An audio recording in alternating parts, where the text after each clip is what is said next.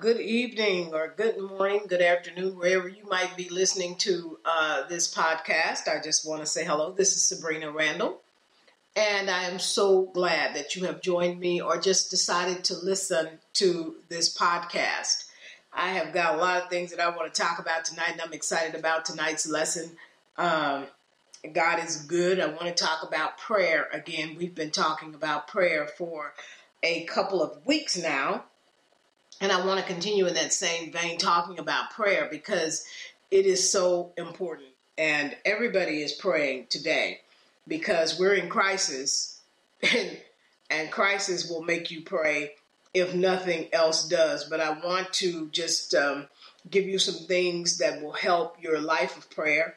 And uh, hopefully, that's what you have a life of prayer and not a prayer life, which means we just pray you know, a lot of times during crisis. So I want to uh, give you some things that uh, will help you as you go through day to day, whether we're in a pandemic or a recession or we're wrestling with personal problems, different things.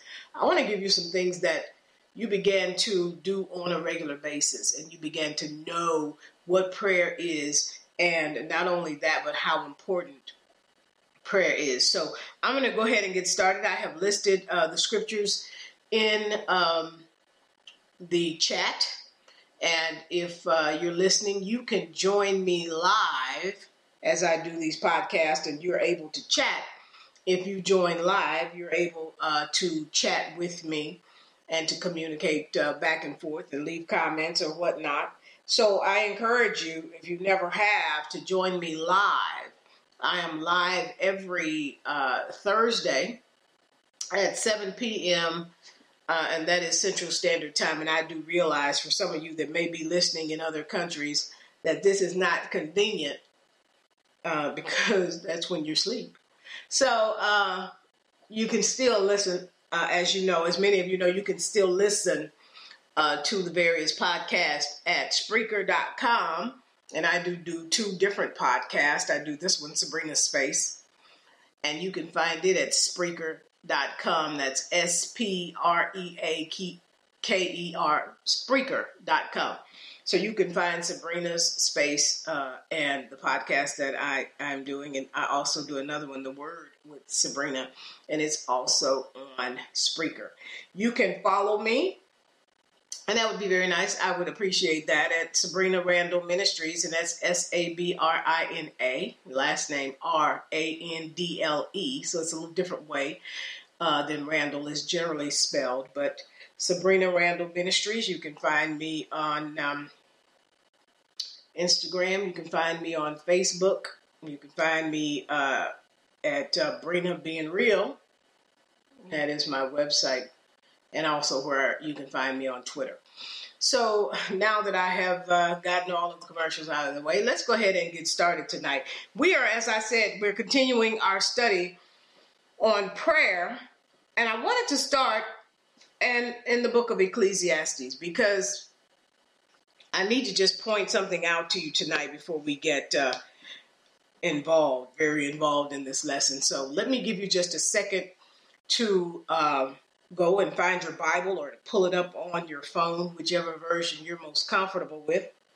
I will give you uh, a chance to go and, and, get that together because we're going to be um, in the New Testament and in the Old Testament and we're going to be all over. So I just want you to join me and um, get yourself a Bible so you'll have something that you can look at as we go through this because we're going to go through quite a bit of scripture, but I'm trying to uh, share something with you tonight uh, uh, about prayer and about some of the things that we do that might cause our prayers not to be answered. I, I, I, I need us to be um, um, mature in prayer and sometimes, you know, I've said this before, but we we we start in a relationship with Christ, but it never changes. we never grow. And so we need to do that. We, we, we need to do that. And we most certainly need to do that in the areas of prayer so that our prayers are effective and so our prayers are being answered. And when we intercede and pray for other people, which we're oftentimes asked to do, that, that, that we feel good about it. We feel sincere about what it is we've been asked to do. And we know that we're getting uh, to God. So I'm going to give you just another second more to um, get a Bible or pull it up on your phone. And again, I generally use the King James Version, so it's likely going to read a little different than what you might be reading, but that's okay. I want to say hello to Naomi, my friend from Canada. Hello, Naomi. I'm so glad that you joined me. And my cousin is there, and she is faithful to come in on Thursdays and uh, walk through the scriptures with me. And now, there's my sister. She just popped in. So I'm just glad to see uh, that people are popping into the chat, and it just uh, gives me a chance to say hello to you individually and just to thank you for joining me. So, we're going to go ahead and get started. I'm going to start in the book of Ecclesiastes. In the book of Ecclesiastes, Old Testament, we don't go there a lot. But when we generally go to Ecclesiastes, we go to where I'm about to go tonight. So I'm going to go to the third chapter of the book of Ecclesiastes, and I want to read something, and I want you to just go along with me. So when you get in or get on, get on on Thursdays, remember to bring a Bible, bring your Bible, or pull up your Bible uh, on your phone, whatever you use, if you have an app that you use, and bring yourself some paper so that so that this isn't all to the lesson. That you get off of the podcast and that you go throughout the week and, and, and you study and you go back over some of the things that I've told you. And I am getting praise reports from people that have joined me that they that change is abound and, and, and good things are happening. And God is doing wonderful things uh, uh, through through this podcast. So I, I thank God right now. I'd like to do that right now. And then let's just go into into our lesson for tonight, the book of Ecclesiastes, the third chapter. I want to read from 1 down to 8, verses 1 through 8, because um, this is going to be very, very key in our lesson tonight. So it says, To everything, again, I'm reading from the King James Version of the Bible, to everything there is a season. And I want you to listen and pay special attention. I want you to hear what I'm saying. To everything there is a season and a time to every purpose under the heaven. There is a time to be born. And there is also a time to die. And you might hear me paraphrasing just a bit because it's very important to me that we are in the 21st century and that we are in 2021 and that you get it and that the these and the thous and all of that kind of thing from the King James Version doesn't throw you. So you'll hear me paraphrase a bit because I really want you to be able to get it. So there's a time to be born, and we recognize that, and there's a time to die. There is a time to plant and a time to pluck up that which is planted. And so that may be a little foreign to us, that whole thing. If we're not farmers and we're not planting things, that means there's a time to uh, uh, invest in some things and that some things are going to come back. So let's look at it that way if we're not, you know, we don't plant. There is a time to kill and a time to heal. And I taught on this before, and I thought it was kind of strange that killing and healing were in the same sentence and that they had to do with each other. And let me say to you that there is a time that we have to kill out some things in our lives that might be stopping us from healing. We have to we have to do away with them.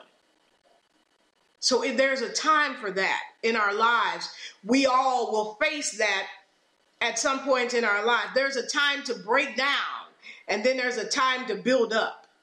There's a time to weep and a time to laugh. And I taught on that it's important that we understand timing because sometimes when we should be laughing, we're still crying. So there is a time to mourn and a time that we, we we're not mourning, but we should be dancing. And are you enjoying your dancing time? And did you recognize it or did it pass you by? Because we're all gonna we're all gonna go through these things. So there's a time to cast away stones, and then there's a time that we're in a gathering mode and getting things, and get, there's a time to hug, to embrace, and there's a time to stop from doing that because all the time that's not appropriate. We don't get to spend all of our lives hugging and laughing, nor crying, nor killing, nor healing. There are different times in our lives for different things. There's a time to get, it says in six. But there's also a time that we lose.